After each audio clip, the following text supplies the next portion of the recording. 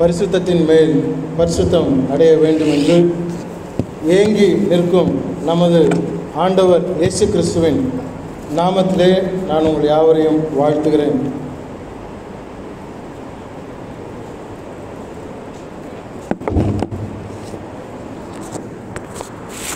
கன்னியாகுமரி மாவட்டத்திலே நாகர்கோவில் பகுதியிலே கனியாகுளம் என்ற இடத்தில் கூடுகிறதான கனியாகுளம் கிறிஸ்டியன் சபையார் உங்களை யாவரையும் வாழ்த்துகிறார்கள். விசேஷமாக அருமையான கருப்பொருளை தியானிக்கும்படியாக ஏறெடுத்ததான ஒவ்வொரு ஊழியர்களுக்கும் என்னுடைய வாழ்த்துதலை தெரிவித்துக் கொள்கிறேன். நிச்சயமாக இந்த தலைப்புகளை பார்க்கும் பொழுது எவ்வளவு ஆழமாக இதை யோசித்திருக்கிறார்கள் என்று நினைக்கும் பொழுது நிச்சயமாய் சபையார் நீங்கள் யாவரும் பாக்கியசாலிகள். சுமார் தொண்ணூறாவது ஆண்டுகள் கிபி கிபி தொண்ணூறாவது ஆண்டுகளிலே ஏறத்தாழ எண்பதிலிருந்து தொண்ணூறு வயது நிரம்பிய அப்போசனாகி யோவான் தன்னுடைய மூன்றாவது நிருபத்திலே எழுதுகிறார். யோவான் மூன்றாவது அதிகாரம் யாருமாய் தன்னுடைய வேதாமத்தை நான் வேதாமத்தின் குறிப்புகளை சொல்லும் பொழுது திருப்பி வைத்துக் கொள்ளுங்கள்.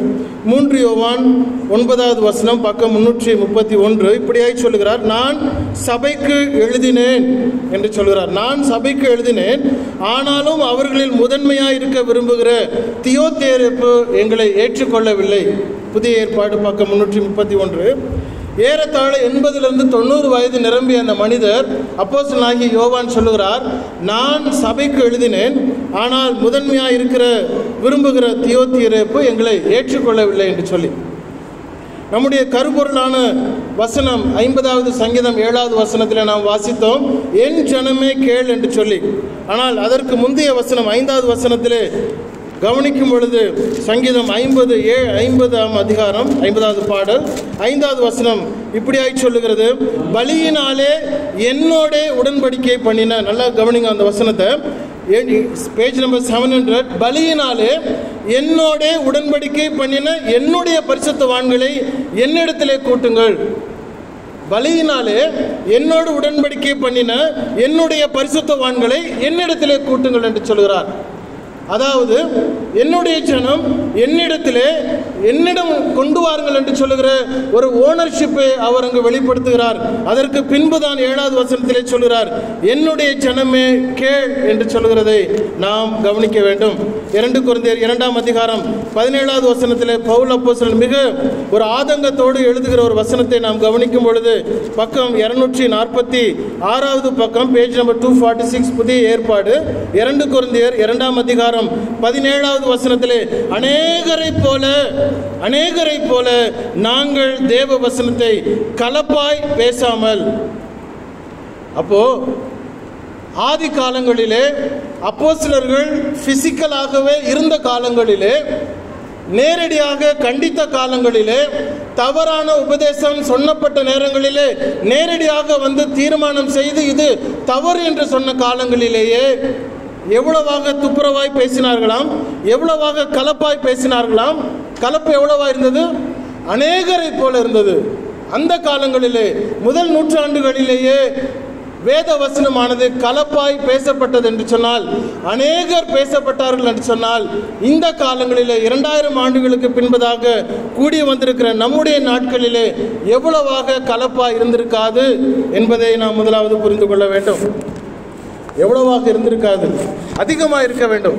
முதல் நூற்றாண்டுகளிலேயே அநேகரை போல கலப்பாய் அவர்கள் பேசிக் கொண்டிருந்தார்கள் என்று சொன்னால் இரண்டாயிரம் ஆண்டுகளுக்கு பின்பதாக நீங்களும் நானும் சத்தியத்தை வசனத்தை எடுத்து பார்த்து போதித்து உணர்ந்து கேட்டுக்கொண்டாலும் வேண்டாம் என்று தள்ளி போடுகிற ஒரு மனநிலைமையிலே போதிக்கிறவர்களும் கேட்கிறவர்களுமாக பெருகி இருக்கிற காலகட்டத்தில் தான் நாம் உட்கார்ந்துருக்கிறோம். அதனால தான் இன்றைக்கு என் ஜனமே கேள் என்ற அந்த தலைப்பை உங்களுக்கு எடுத்து கொடுத்துருக்கிறார்கள். பல பேருக்கு ஒரு எண்ணம் இருக்கும். நான் ஞானஸ்நானம் எடுத்துட்டேன். நான் இப்போ வந்து பரிசுத்தவான ஆகிட்டேன் now I am the saint I have been baptised அதனால எனக்கு கேட்க வேண்டிய அவசியம் இல்லை நான் இப்பொழுது போதிக்க வேண்டிய நாட்களில் வந்துவிட்டேன் என்று சொல்லி கக்கத்தில் வேதாமத்தை வைத்துக்கொண்டு தெரு தெருவாக பிரசங்கிக்கிற ஜனங்களை நாம் பார்த்து கொண்டிருக்கிறோமே ஒழிய சொல்லுகிறதை கேட்கிற ஜனங்கள் இல்லை என்பதை அந்த காலத்திலேயே பவுல் அப்போஸ்தலன் உணர்ந்ததுனாலே தான் எபேசுக்கு எழுதும் பொழுது அவர் இப்படியாய் சொல்கிறார் திருப்பிக் கொள்ளுங்கள். பக்கம் இருநூற்றி அறுபத்தி ஆறு எபேசியர்களின் நிருபம் நான்காவது அதிகாரம் பன்னிரெண்டாவது வசனத்தில் சொல்கிறார் பரிசுத்தவான்கள் சீர் பொருந்தும் பொருட்டு. கவனிச்சிங்களா? பரிசுத்தவான்கள் நீங்களும் நானும் பரிசுத்தவான்கள் அழைக்கப்பட்டிருக்கிறோம். அப்படி என்று சொன்னால் நான் இனிமேல் வேதாமத்தை கேட்க வேண்டியதல்ல. Now I am ready to preach என்று சொல்லுகிற ஒருவனுக்கும் அதிகாரம் இல்லை. Each and every person have to listen first ஒவ்வொருவரும் முதலாவது கேட்க வேண்டும் அதை உணர வேண்டும். எந்த காலத்திலும் நீ பரிசுத்தவான அழைக்கப்பட்டாலும் சரி பரிசுத்தவான் என்று நான் அங்கீகரிக்கப்பட்டாலும் சரி still I have to learn ஒவ்வொரு நாளும் நான் கற்றுக்கொள்ள வேண்டும். அவர் சொல்றாரு யார் சீர் பொருந்த வேண்டுமாம்? பரிசுத்தவான்கள் சீர் பொருந்த வேண்டும். நம்ம நினைக்கிறோம் இப்போதான் நீ வந்திருக்கிற நீ குழந்தை இப்போதான் பேப்டிஸ்ட் எடுத்திருக்கிற. ஒரு நாள் ஆயிடுச்சு ரெண்டு நாள் ஆயிடுச்சு நீ சின்ன பிள்ளைப்பா உட்காரு கொஞ்ச நாள் வளரலாம்.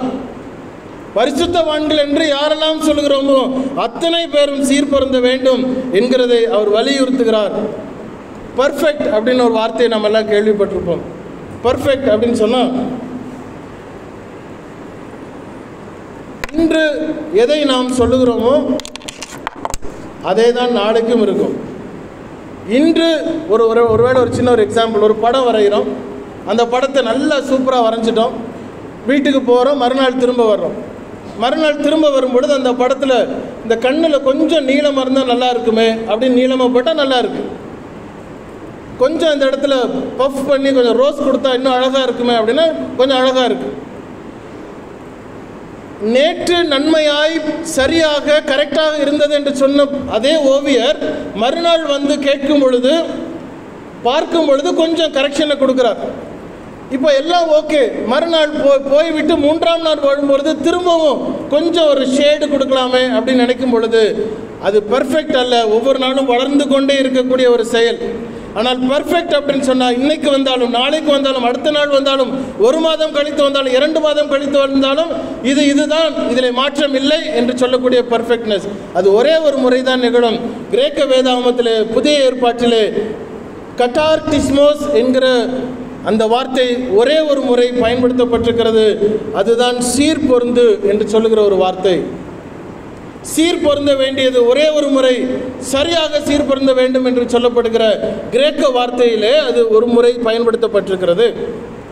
தமிழாக்கத்திலே நாம் தமிழர்களாக இருப்பதனாலே அதிகமான வார்த்தைகளை தமிழ் அகராதி கொண்டிருப்பதனாலே சரியானது நேர்த்தியானது உண்மையானது என்கிற எல்லா வார்த்தைகளுக்குமே சீர் பொருந்து என்கிறதை பயன்படுத்தி அவர்கள் மொழிபெயர்த்ததினாலே ஐந்து இடங்களிலே வேதாகமத்திலே நான் புதிய ஏற்பாட்டில் சொல்லவில்லை முழு வேதாகமத்திலேயுமே ஐந்து இடங்களிலே இப்பெல்லாம் எல்லாருமே டிஜிட்டல் கையிலெல்லாம் மொபைல் வச்சுருப்பீங்க. தமிழ் பைபிளிலே சீர் பொருந்து என்கிறதை மாத்திரம் சர்ச் பண்ணினீங்கன்னா ஐந்தே ஐந்து தான் உங்களாலே கண்டுபிடிக்க முடியும். ரொம்ப ஆச்சரியமாக என்னன்னு சொன்னால் அந்த ஐந்துமே புதிய ஏற்பாட்டில் இருக்கிறது. அதை விட ஆச்சரியம் என்னன்னா ஐந்துமே கிறிஸ்தவர்களுக்கு சொல்லப்பட்டது. என்னுடைய நேரத்துக்குள்ளே நான் முடிக்க வேண்டும் என்பதனாலே நான் ஐந்தையும் வாசித்து விட்டு ஒரே ஒரு காரியத்தை நான் மையப்படுத்தி உங்களோடு விஸ்தாரமாக பேச விரும்புகிறேன். முதல் முறையாக ஒன்று குருந்தியர் முதலாம் அதிகாரம் பத்தாவது இடத்து பத்தாவது வசனத்தில் வருகிறது ஐக்கியத்திலே சீர் பொருந்த வேண்டும். அதுதான் முதலாவது. முதலாவது first the very first time it comes at first Corinthians chapter one and verse ten ஐக்கியத்திலே சீர்பட வேண்டும். ஐக்கியத்திலே சீர் பொருந்த வேண்டும். இரண்டாவது முறை இரண்டு குழந்தையர் பதிமூன்றாம் அதிகாரம் நைன் அண்ட் லெவன் ஒன்பதும் பதினொன்றிலும் விசுவாசத்திலே சீர் பொருந்த வேண்டும் என்று அங்கு சொல்லப்படுகிறது.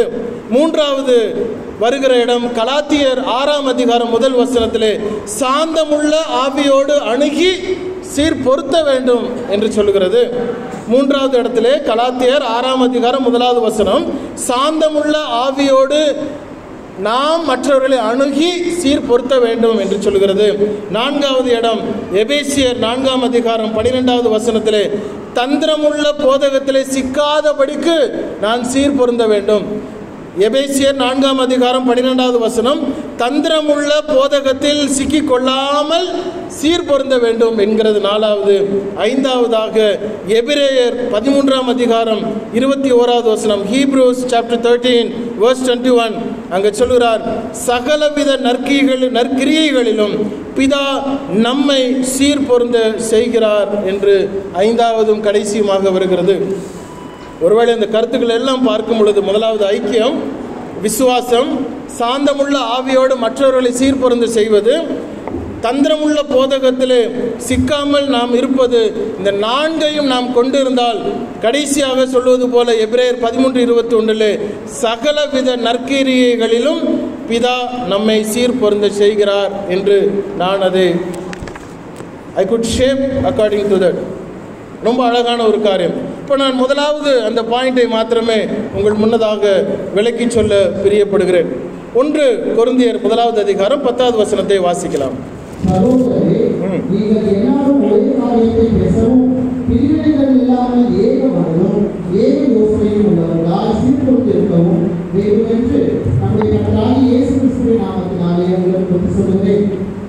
ஐக்கியத்திலே சீர்பொருந்த வேண்டுமா?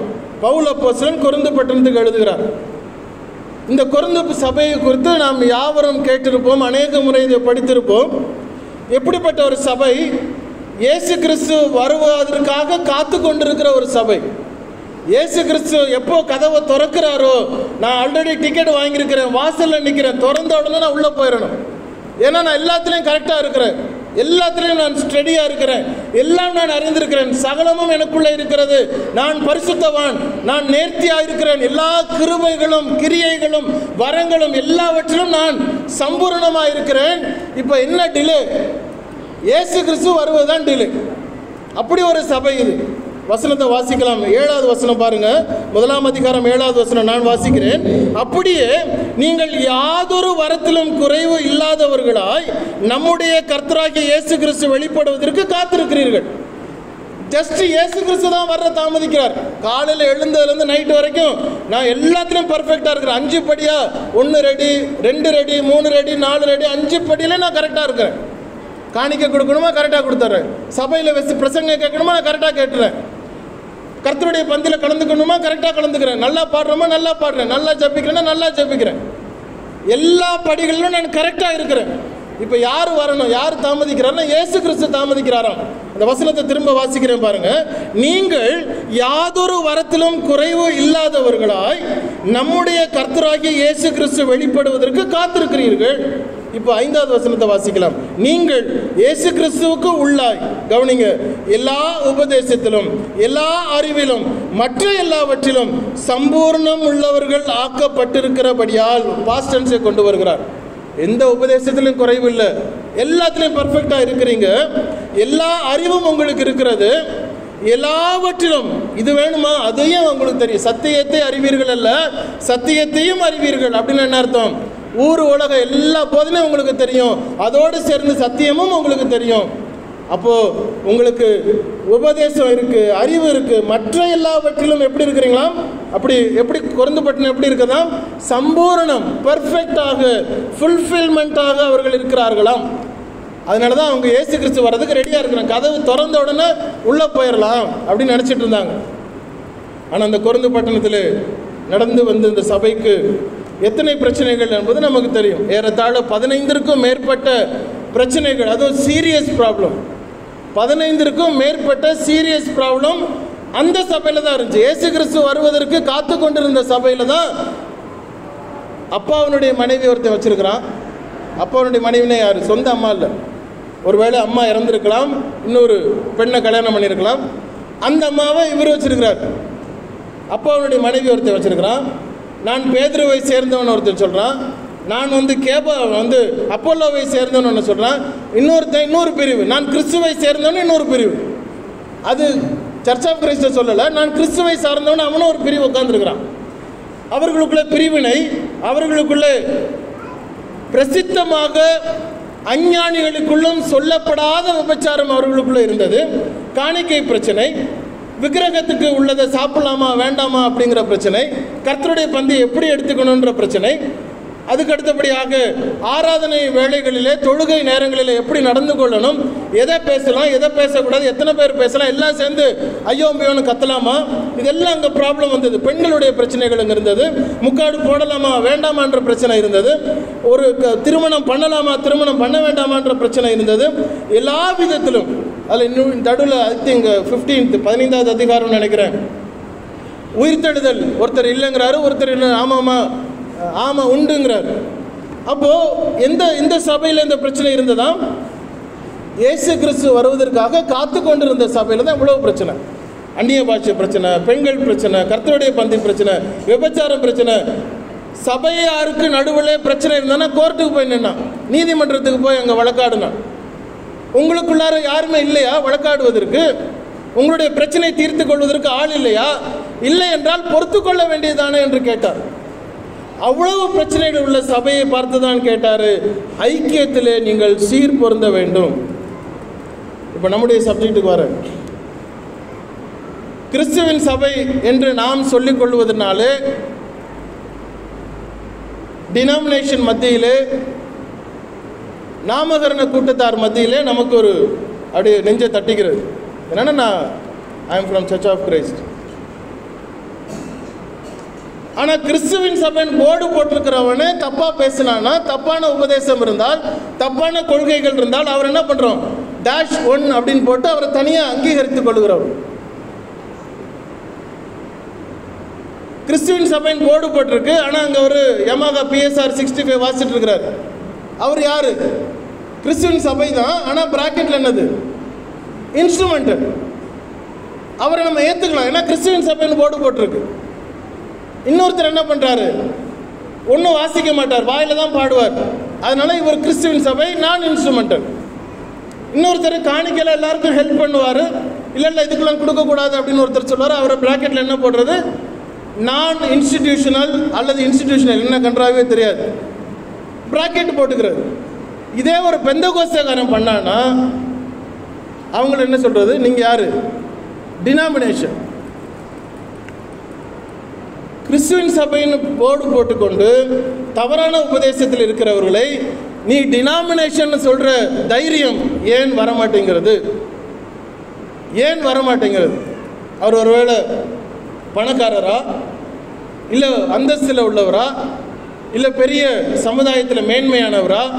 இல்லை உங்களுக்கு படி அளக்கிறவரா? எங்கே ஐக்கியம்? நீ கிறிஸ்டியன் சபையா? ஓகே நானும் கிறிஸ்டியன் சபை. உங்கள் சபையில் மியூசிக் போடுவீங்களா? ஆமாம். அப்போ கிறிஸ்டியன் சபை இன்ஸ்ட்ருமெண்டல் கை கோத்துக்கலாம். இந்த பக்கம் ஒரு கை பின்னாடி ஒரு கை. ஐக்கியம் எங்கே இருக்கிறது?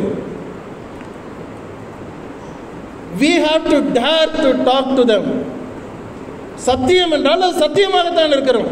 வெறுமையாக சத்தியத்தையும் அறிவீர்கள் அப்படின்னு போடுறதுல பிரயோஜனம் இல்லை சீர் பொருந்த கேட்க வேண்டிய அவசியம் இந்த நாட்களில் இருக்கிறது. ஆரம்ப காலங்களில் அநேகரை போல கலப்பாய் பேசினவர்கள் இருந்தார்களே இன்றைக்கு அநேகரை இல்லை எல்லாமே கலப்பாய் இருக்கக்கூடிய அளவு நீங்கள் சாம்சங் ஃபோன் அல்லது ஆப்பிள் ஃபோன் வாங்க போங்க கடையில். சொல்லுவாங்க சார் நீங்கள் போய் கேளுங்களேன் எஸ் டுவெண்ட்டி கொடு அப்படின்னோடனே அவர் சொல்லுவார். சார் இது வந்து இப்போ புதுசாக வந்திருக்கு புது மாடல் ஃபோன் இது. எஸ் ஈக்குவலாக இருக்கும். இது டூப்ளிகேட் தான். ஆனால் டூப்ளிகேட்டை விட இது என்ன? ஒரிஜினலை விட இது எப்படி இருக்கும்? நல்லா இருக்கும். அவரே சொல்லுவார் இது டூப்ளிகேட் தான். ஆனால் ஒரிஜினலை விட அது நல்லா இருக்கும். அப்போ நம்ம உடனே பார்த்துட்டு கரெக்டு தான். ஒரிஜினலை விட அது நல்லா இருக்கும்னா என்ன பண்ணலாம்? நாம் அதை வாங்கி கொள்ளலாம். அப்படிதான் இருக்குது ஒரிஜினல் என்ன சொல்லுகிறது? அதை விட இது இங்கே போனால் நல்லா இருக்குது எங்களுக்கு கல்லறை கொடுக்குறாங்க. கல்யாண ஓலை வாசிக்கிறாங்க. அவசரம்னா காசு கொடுக்குறாங்க. தேவைன்னு போனால் ஒரு ஆயிரம் ரூபா கையில் கொடுப்பாங்க. செத்ததுக்கு அப்புறம் என்ன நடக்குது அப்புறம் பார்த்துக்கலாம். முன்ன பின்ன செத்தாதானே சுடுகாடு தெரியும். இப்போ வாழும் பொழுது எங்கள் வீட்டில் ஒரு ஃபங்க்ஷனா இவங்க தான் பிரதர் வந்து நிற்கிறாங்க எங்கள் ஆஸ்தான ஊழியக்காரர் எங்கள் ரெவரண்டு எங்கள் பாஸ்டர் அல்ல எங்கள் காலத்துலேருந்து நாங்கள் இவங்க சபைக்கு தான் போயிட்டுருக்குறோம். சத்தியம் என்ன சொன்னாலும் பரவாயில்ல. சபைக்கு போனோமா கேட்டோமா ஆமீன் போட்டோமா வந்தோமா? இது கிறிஸ்தவம் இல்லை இது கிறிஸ்தவ ஐக்கியமும் இல்லை. நாம் எதை பார்த்து கொண்டிருக்கிறோம்? எதை கேட்டுக்கொண்டிருக்கிறோம் ஐக்கியத்திலே சீர்பட வேண்டும் என்று சொல்லும் பொழுது மிக மிக மிக கவனமாக நாம் பார்க்க வேண்டிய அவசியம் இருக்கிறது. எப்படியாக என்னுடைய ஐக்கியம் சபையில் பக்கத்தில் தான் உட்காந்துருப்பார் அவரை பார்த்து விஷ் பண்ணுறதுக்கு நமக்கு ஒரு மாதிரி இருக்கும். ஏன் அப்படின்னா போன வாரம் நம்மளை பற்றி ஏதோ ஒரு குரூப்பில் தப்பாக கமெண்ட் பண்ணியிருப்பார் அதனால் உருன்னு மனசு அப்படியே இருக்கும். ஆனால் பார்த்தோன்னா பிரைசலாடு கர்த்தருக்கு ஸ்தோத்திரம். என்னத்துக்கு இந்த கர்த்தருக்கு ஸ்தோத்திரம்? ஐக்கியம் எங்கேருந்து வந்தது? ஐக்கியம் இருதயத்திலிருந்து வரணுமா? இல்லை வெளிப்படையாக வரணுமா? பக்கத்தில் இருக்கிற ஒருத்தர் இடத்துல நாம் நன் ஐக்கியத்தை வெளிப்படுத்த தெரியாமல் விரோதத்தை இருதயத்தில் வைத்துக்கொண்டு எப்படி நான் ஐக்கியமாக இருப்பது நான் பேதுருவை சேர்ந்தவன் சொல்றியே அப்பல்லோவை சேர்ந்தவன் என்று சொல்லியே கிறிஸ்துவை சேர்ந்தவன் என்று சொல்றியே நீ அப்போ உண்மையில யாரை சேர்ந்தவன்? ஒரு திருமண ப்ரொஃபைல் எனக்கு அனுப்புனாங்க. அதில் பிசி கிறிஸ்டியன் அப்படின்னு போட்டிருந்துச்சு. அப்போ எனக்கு ஆச்சரியமாக போச்சு. கிறிஸ்து பிறப்பதற்கு முன்னதாகவே இவர் கிறிஸ்டியனாக இருந்திருக்கிறாரு. பிஃபோர் கிரைஸ்டே இவர் கிறிஸ்டியன்னா இப்படின்னு அவருக்கு ஃபோன் அடித்தேன் அப்போது அவர் சொன்னார் இல்லை பிரதர் இது பேக்வேர்டு கேஸ்ட் அப்படின்னார். எனக்கு நார்மலாக ரொம்ப கலோக்கியெல்லாம் பேசுகிற ஆள். பயங்கரமாக கோபம் வந்துருச்சு. அப்போ சொன்னேன் நீ யார் யா கிறிஸ்டியனை பேக்வேர்டுன்னு சொல்கிறதுக்கு கிறிஸ்தவம் அல்லவா? இருபது கீரை போட்டு முன்னாடி போக வேண்டியது எல்லாருக்கும் வழிகாட்ட வேண்டிய கிறிஸ்தவம் கிறிஸ்தவம் பரலோகத்திற்கு காட்டுகிற ஒரு மார்க்கமாக இருக்கிறது நீ யார் ஒரு கிறிஸ்தவனை பேக்வேர்டு என்று சொல்வதற்கு? அப்போ சொன்னார் இல்லை பிரதர் அது வந்து சட்டப்படி கிறிஸ்தவர்களை பிசின்னு தான் வச்சிருக்கு. ஆனால் அதில் எஸ்சி எஸ்டி வேற இருக்கு அப்படின்னார்.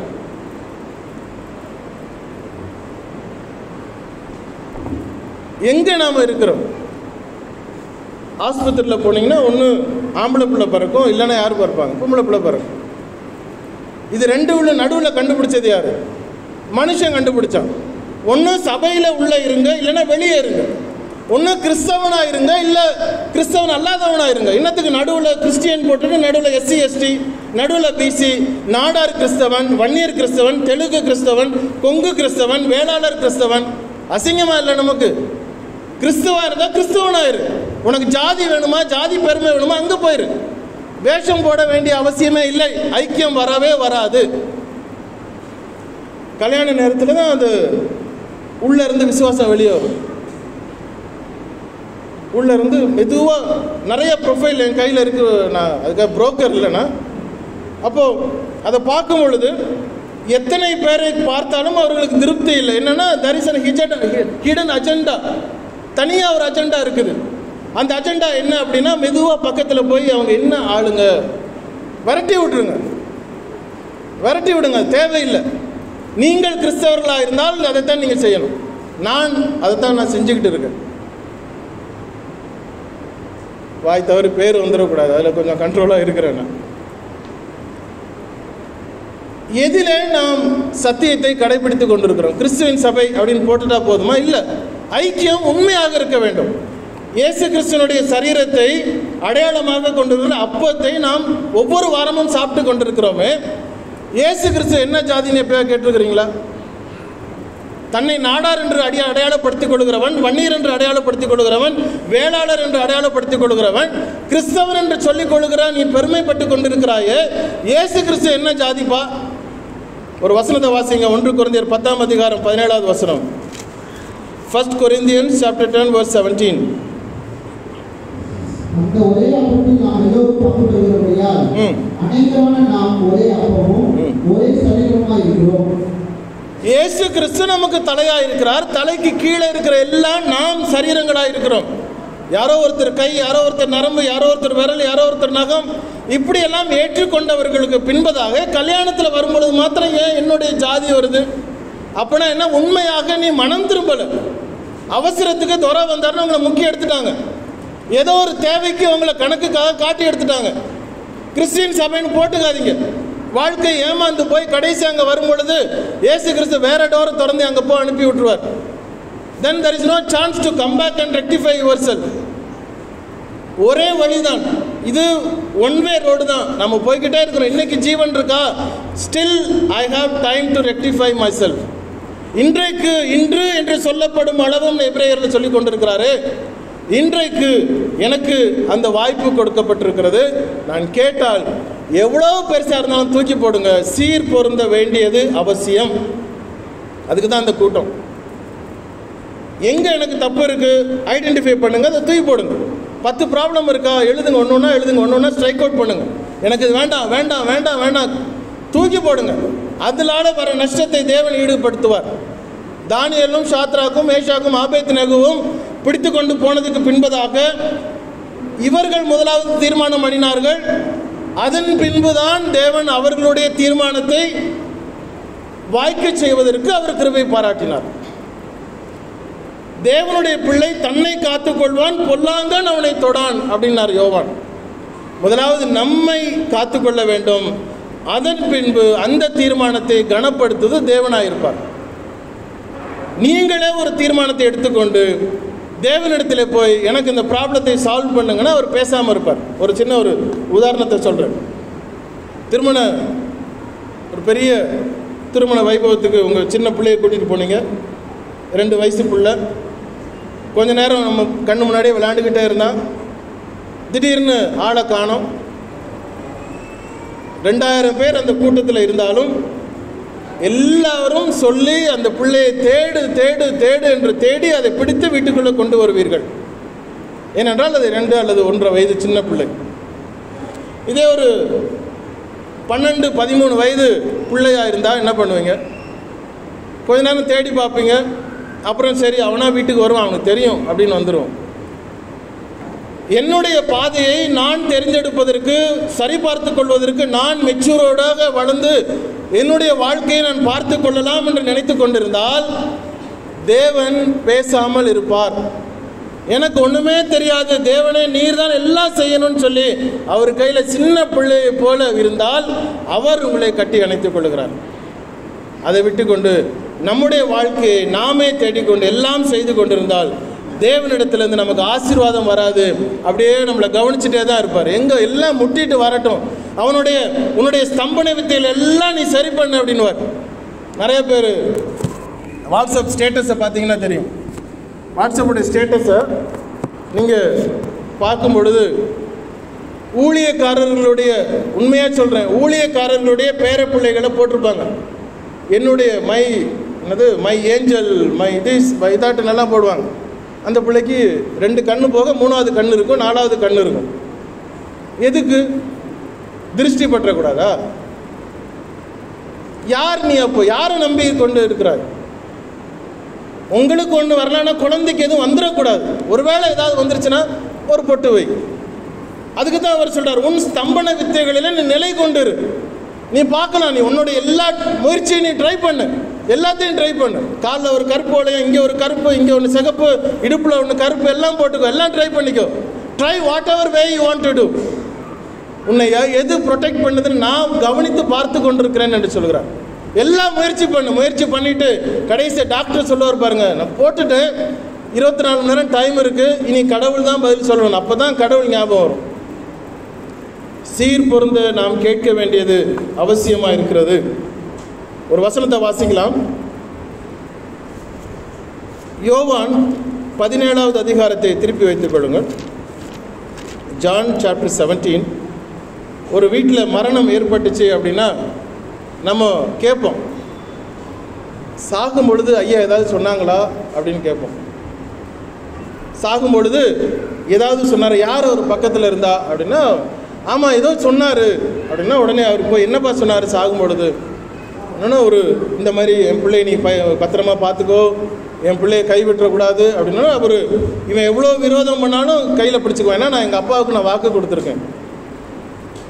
இயேசு கிறிஸ்தனுடைய அந்த ஆவல் the wish of Jesus Christ in his last time பூமியிலே சிலுவைக்கு முன்பதாக அவருடைய கடைசி அந்த ஆவல் அவா என்னவா இருந்தது என்று பாருங்கள். பதினேழாம் அதிகாரம் இருபதை நான் வாசிக்கிறேன்.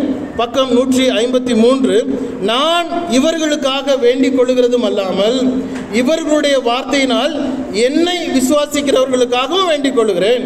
அவர்கள் எல்லோரும் ஒன்றாய் இருக்கவும் பிதாவே நீர் என்னை அனுப்பினதை உலகம் விசுவாசிக்கிறதற்காக நீர் என்னிலேயும் நான் உம்மிலேயும் இருக்கிறது போல அவர்கள் எல்லாரும் நம்மில் ஒன்றாயிருக்கவும் வேண்டிக் கொள்கிறேன். கவனிச்சிங்களா? அவருடைய விஷ் என்னவா இருந்ததாம்? நாம் எப்படி ஒன்றாக இருக்கிறோமோ நானும் அதாவது இயேசு கிறிஸ்துவும் பிதாவும் எப்படி ஒன்றாக இருக்கிறோமோ அதுபோல என்னுடைய வார்த்தைகளினாலே அப்போஸ்தலர்கள் வெளியே போய் சொல்ல போகிறாங்க யாரெல்லாம் அவருடைய வார்த்தையை கேட்கிறார்களோ அவர்களும் அவர்கள் தம்மிலே ஒருவருக்கொருவர் நம்மை போல ஒற்று ஒன்றாக இருக்கும்படி அவர்களுக்காக அதாவது இந்த இடத்துல இப்பொழுது விகேகே மகாலிலே உட்கார்ந்திருக்கிற உங்களுக்காகவும் எனக்காகவும் அன்றைக்கு இயேசு கிறிஸ்து அந்த கெஸ்டமனை தோட்டத்தில் ஜபம் பண்ணுகிறார். அந்த இடத்துல போயிருந்தேன். ரொம்ப ரொம்ப அழகான ஒரு இடம். அவர் ஜெபம் பண்ண மரம் தான் அப்படின்னு சொல்லக்கூடிய ஒரு மரம் இருக்காங்க அது ஹிஸ்டாரிக்கலி அல்லது தியாலிச்சு sorry theoretically it is proven அது உண்மையாக பொய்யான்னு தெரியாது ஆனால் ஒரு கால்குலேஷன் படி உண்மையாக இருக்க வாய்ப்பு உள்ள உள்ளது என்று சொல்லப்படுகிற ஒரு மரம். அப்போது அந்த இடத்துல நமக்காக அவர் வேண்டுதல் செய்திருக்கிறார். எப்படி இருக்கணுமா? ஒன் ஒன்றாக இருக்கணும் ஒற்றுமையாக இருக்கணும். அதுதான் அவரோட விஷ் கடைசி விஷ் அதுதான்.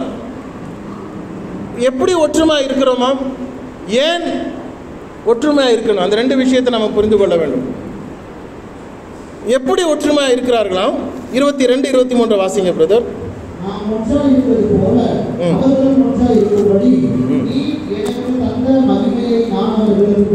என்ன பண்ணாராம்? நாம் எல்லாரும் ஒன்றா இருக்க வேண்டும் என்பதற்காக தேவன் என்ன பண்ணியிருக்கிறாராம்? அவருக்கு பிதாவானவர் கொடுத்த மகிமையை நமக்கு கொடுத்திருக்கிறாராம். அந்த வசனத்தை நான் இப்போ திரும்ப வாசிக்கிறேன் கவனிங்க. பக்கம் நூற்றி ஐம்பத்தி மூன்று யோவான் பதினேழாம் அதிகாரம் இருபத்தி இரண்டாம் வசனம். நாம் ஒன்றா இருக்கிறது போல அவர்களும் அவர்கள்லாம் யாரு? தேவனுடைய வார்த்தையை அப்போஸ்தலர்கள் மூலமாக கேட்டுக்கொண்டிருக்கிற நாமும் ஒன்றா இருக்கும்படி நீர் எனக்கு தந்த மகிமையை நான் அவர்களுக்கு கொடுத்தேன். அதான் இயேசு கிறிஸ்து நமக்கு கொடுத்திருக்கிறார். என்ன கொடுத்தாரு? எதை கொடுத்தார்? யாரெல்லாம் விசுவாசம் உள்ளவர்களாகி அவரை ஏற்றுக்கொண்டோமோ அத்தனை பேரும் தேவனுடைய பிள்ளைகளாக ஆக்கும்படி நமக்கு என்ன பண்ணியிருக்கிறார்? தேவனானவர் அந்த கிருபையை கொடுத்திருக்கிறார். யோவான் ஒன்று பன்னிரெண்டில் நாம் அதை வாசித்து பார்க்க முடியும். நாம் அனைவரும் தேவனுடைய பிள்ளையை ஆகும்படி நமக்கு அந்த மகிமையை கொடுத்திருக்கிறார் இயேசு கிறிஸ்து மூலமாக. யாரோ ஒருத்தர் எங்கேயோ இருக்கிறீங்க ஏதோ ஒரு ஊரில் இருக்கிறீங்க ஏதோ ஒரு இடத்துல பிறந்தீங்க உங்களும் எனக்கு யாரும் தெரியாது. ஆனால் இயேசு கிறிஸ்துவனுடைய சரீரத்தில் விழுந்த இருந்தது ரத்தமும் பலியாகவும் கொடுக்கப்பட்ட அந்த இயேசு கிறிஸ்து எப்பொழுது என் சொந்த ரட்சகராக ஏற்றுக்கொண்டேனோ அது நிமித்தமாக பிதாவானவர் என்னை இயேசு கிறிஸ்துவனுடைய சரீரத்தில் என்னை கொண்டு போய் சேர்க்கிறார். அது நிமித்தமாக தேவனுடைய பிள்ளையாக நீங்களும் நானுமா இருக்கிறோம். இயேசு கிறிஸ்துடைய சிலுவை மரணத்தின் நிமித்தமாய் நீங்களும் நானும் தேவனுடைய பிள்ளை. இதில் உட்காந்துக்கிட்டு நான் இந்த ஜாதி அந்த ஜாதினா அப்போ இல்லை வெளியே போயிருங்க. ஒழுங்காக கிறிஸ்துவுக்குள்ளே வந்ததுக்கு பின்பதாக உள்ள கருத்துக்களை தான் பரிசுத்தவான்கள் சீர்பொருந்த வேண்டும் என்று சொல்லிக் கொண்டிருக்கிற சப்ஜெக்ட் நாம் பேசிக் கொண்டிருக்கிறோம் இப்போ என்னுடைய ஒரு தங்கை அல்லது அக்கா அல்லது ஒரு தம்பி ஒரு அண்ணன் இருக்கிறார். கூட பிறந்தவர். அவர் வந்து தப்பு செய்கிறாருன்னு வச்சுக்கோமே ரொம்ப மோசமாக இருக்கிறார். என்னுடைய பிள்ளையினுடைய திருமணம் வருது. அது வரைக்கும் நான் பேசாமல் இருந்திருக்கலாம் விரோதம் பாராட்டியிருக்கலாம். ஆனால் அந்த நேரம் என்ன பண்ணுவேன்? சரி என்னதான் இருந்தாலும் கூட பிறந்தான் என்னுடைய சொந்த ரத்தம். விரோதம்னா ஒரு பக்கம் போட்டோம். அவனை எப்படியாவது திருந்துவான். ஆனால் அவனை கொண்டு போய் நான் பத்திரிக்கை கொடுக்கணும். ஏன் அந்த எண்ணம் வந்ததுன்னா ரத்த பந்தம் இருந்தது. ரத்த பந்தம் இருந்ததுனாலே தவறு செய்தாலும் அவன் தீங்கானவனாக இருந்தாலும் எப்படியாவது அவனுடைய கையை பற்றி கொண்டு திருந்த வேண்டும் என்று நாம் நினைத்து கொண்டிருக்கிறோம். உண்மையான கிறிஸ்தவனாக இருக்கிறவன் தவறு செய்ய முடியாது என்றால் தவறு செய்ய முடியும். ஆனால் அவனை திருத்த வேண்டியதும் சொல்ல வேண்டியதும் அதனால தான் நம்முடைய மூணாவது பாயிண்டில் நாம் பார்க்கிறோம் சாந்தமுள்ள ஆவியோடு அவனை அணுகி அவனை சீர்பொருந்த செய்ய வேண்டும் என்ற பொறுப்பு நம் ஒவ்வொருவருக்கும் இருக்கிறது. நான் இயேசு கிறிஸ்துவின் ரத்தம் மூலமாக பிதாவினிடத்தில் பிதாவின் பிள்ளை என்று நான் சேர்க்க அழைக்கப்படுகிறவனாக இருந்தால் என்னுடைய சகோதரனும் அவன் இன்றைக்கு ஒருவேளை தவறு செய்தாலும் அவனும் இயேசு கிறிஸ்துவின் ரத்தத்தினாலே கழுவப்பட்டவன் அவனும் தேவனுடைய பிள்ளை. ஆனால் இப்பொழுது தவறு செய்து கொண்டிருக்கிறான். அவன் திருந்த வேண்டும் என்று சொல்லி சாந்தமுள்ள ஆவியோடு அவனை அணுகி சத்தியத்தை சொல்லி அவனை மீண்டும் கொண்டு வர வேண்டியது நம்முடைய அவசியமாக இருக்கிறது. சீர் பொருந்த வேண்டியது. அதைத்தான் இயேசு சொன்னார். நாம் ஒன்றாக இருப்பது போல அவர்களும் ஒன்றாக இருக்க வேண்டும். ஒரு விஷயத்தை சொல்லி நான் முடிச்சிடுறேன். இயேசு கிறிஸ்து தேவனுடைய குமாரன் என்பதை ஏற்றுக்கொள்ளாமல் நல்லா கவனிங்க. ஏற்கனவே தேவத்துவத்தை பற்றி அருமையான ஊழியர் நமக்கு சொன்னாங்க. இயேசு கிறிஸ்துவை தேவனுடைய குமாரன் நான் அந்த சப்ஜெக்டுக்குள்ளார போக விரும்பலை. குமாரன் என்று ஏற்றுக்கொண்டு இருக்கிறவர்கள் திடீர்னு என்ன சொல்லலாம் அவர் தான் பிதா அப்படின்வான் இவர் தான் அங்கே அந்த மாதிரி மாறினாரு அவர் தான் இந்த மாதிரி மாறிட்டார். இப்போது அவர் பரிசுத்தாவினர் யார் அப்படின்னா பரிசுத்தாவின அதுக்கப்புறம் சிலுவைக்கு அப்புறம் அவர் வந்துட்டார். இப்போ இயேசு கிறிஸ்து எங்கே உட்காந்துருக்கிறாருன்னா பிதாவின் வலது பாரசத்தில் உட்காந்துருக்கிறார் யார் பக்கம் உட்காந்துருக்கிறாரு பிதாவின் வலது பாரசம். பரிசுத்தாவினர் என்ன பண்ணுறாரு அவர் தான் இவர். அப்போ அந்த கான்செப்டே புரியாமல் உட்கார்ந்து கொண்டிருக்கிற ஜனங்கள் ஆட்டோமேட்டிக்காக இயேசுவையும் பிதாவானவரையும் அவர்கள் மறுதளிக்கிறவர்களாக இருக்கிறார்கள் அப்படிப்பட்டவர்களை வேதாமம் என்ன சொல்லுகிறதாம்? வசனத்தை வாசிங்க திருப்பிக் கொள்ளுங்கள். ஒன்று யோவான்.